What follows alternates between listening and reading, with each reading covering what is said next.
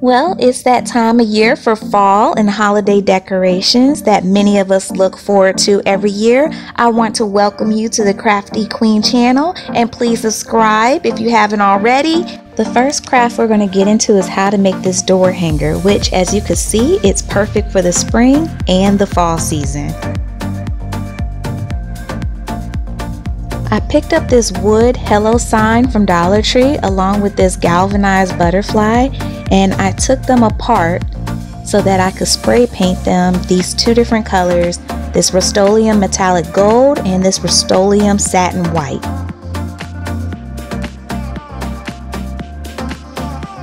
And this is how they turned out.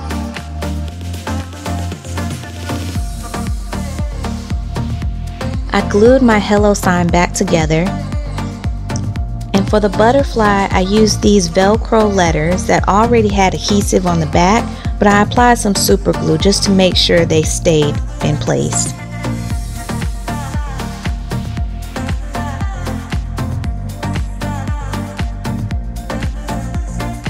With this printed burlap ribbon that I already had on hand, I made a little bow.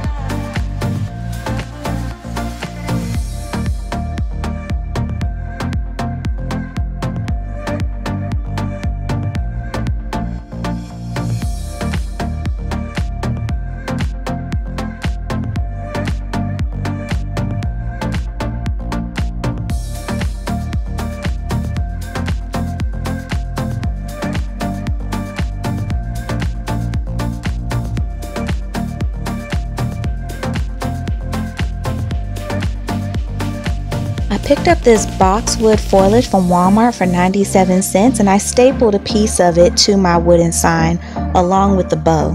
This sign is going on someone else's front door which is going to be exposed to the sun a lot so I try to use a staple gun as much as possible. I stapled some twine on the back so you can hang it on a hook and I added some magnets that I got from Dollar Tree some years ago. And guys, I absolutely adore this sign and it could be on your door all year long. Now I gotta make one for myself. Next is this dining room table centerpiece.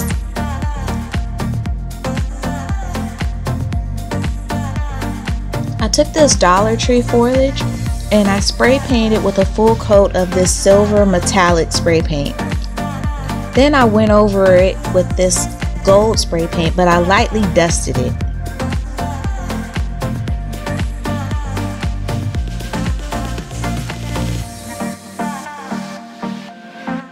I did the same thing with these berries, but I gave them a full coat of this white spray paint first before I lightly dusted them with the gold as well. And keep this technique in mind because you're going to see me use it again. These pumpkins, I just spray painted them with the full coat of the silver and these mini pumpkins I spray paint them with the full coat of just the white spray paint. I've done various crafts in the past with this old styrofoam pumpkin that I got from Dollar Tree many years ago but this time I'm just going to cover it up with a piece of fabric and I'm going to close it up with a rubber band and I lost the footage to this but I took some floral wire and I wrapped it around a pencil on both ends and I spray painted it gold and here I am gluing it around my pumpkin. Earlier this year, I bought this basket from Goodwill for only $4 and I hadn't figured out what I was going to do with it until now. I lightly spray painted it with this white spray paint. I wanted to look a little rustic and then I just filled it in with um, some tissue paper because it has holes at the bottom and I didn't want it to dirty up the table and then I lined it up with some green garland and some Spanish moss. And I put a styrofoam block in the middle. And finally I just arranged all of my pieces inside of it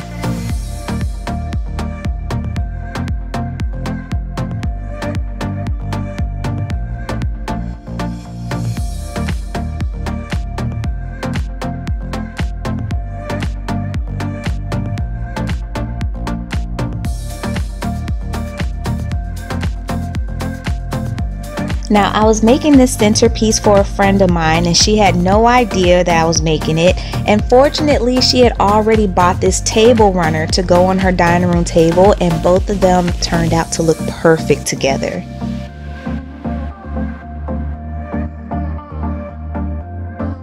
Number three is the scent tray, which is fairly easy to put together. I already had this cake tray that was given to me. All I did was spray paint it silver and then lightly dust it with the gold spray paint technique.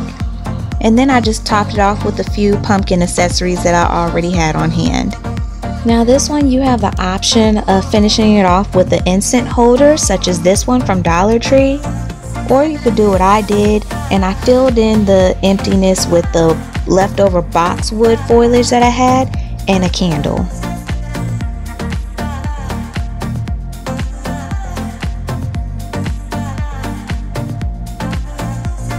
Number four is all about a few small simple additives that you could do to add fall to your decor such as these pumpkins and this candlestick holder. All I did was spray paint them black and white to match the decor of my son's bathroom and I just replaced some items in his bathroom with them.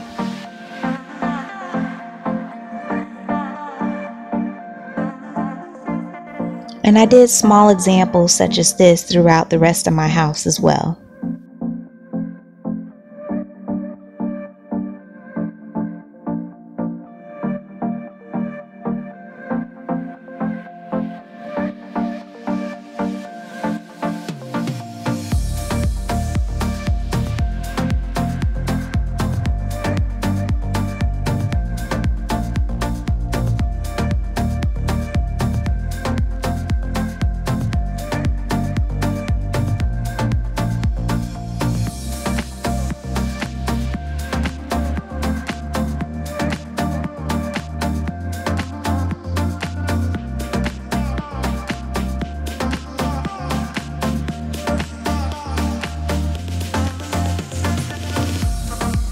Number five is a garland for the fireplace. Now, I've never made a garland before, but I recently just cut up some old jeans and made them into some shorts, and I decided to save the leg part for this project. And basically, I started off by cutting the fabric into individual pieces, such as this. To add texture to the garden, I found some other fabric around the house to also cut into the same size pieces, and I also got some burlap ribbon.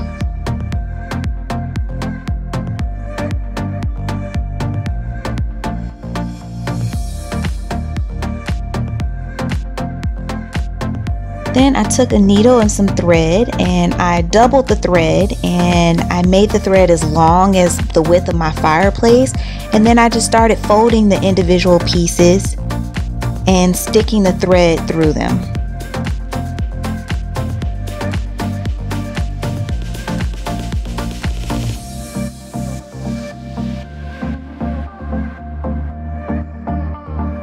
I also decided to make a little pattern with this so I added a beaded pearl at the end of each section that I sewed together.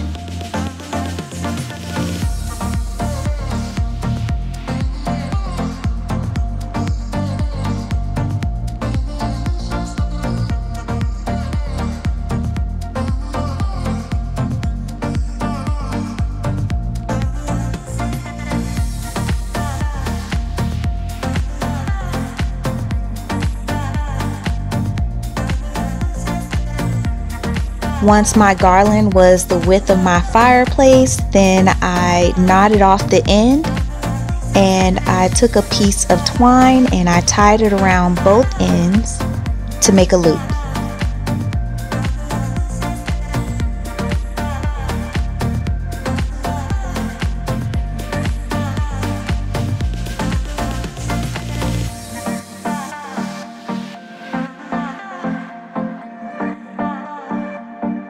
I wasn't too sure if I would like this, but it didn't turn out half bad. And I thought it was a smart way to use some extra fabric that I had left around.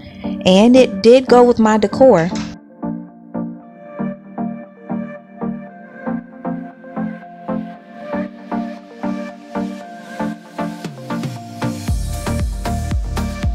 And last but not least is the front porch decorations. These are some Dollar Tree items that I had recently purchased, except for the pail. I already had some of those left over from previous projects over the years. And I'm just going to cut this sign up into three individual pieces. Now my pails already have some styrofoams left in them from a previous project, which is good. I'm going to leave that in there. And then I'm going to cut some bamboo skewers and I'm going to glue it to the back of each of these individual signs. And now the only thing that's left is to fill it up with some Spanish moss and start sticking in the flowers and the wheat and the cattails throughout the bucket. And I did this to two other buckets as well.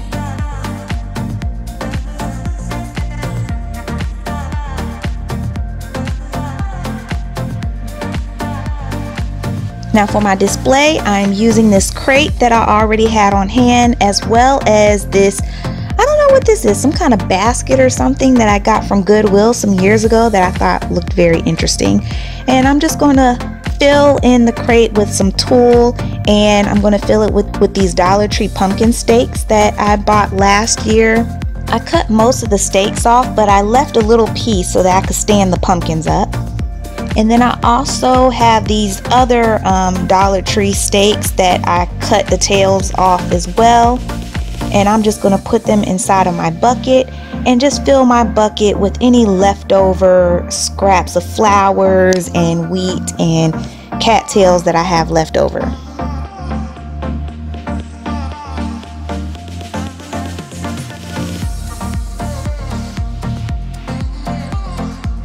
And I added my home sweet home buckets to finish off the looks.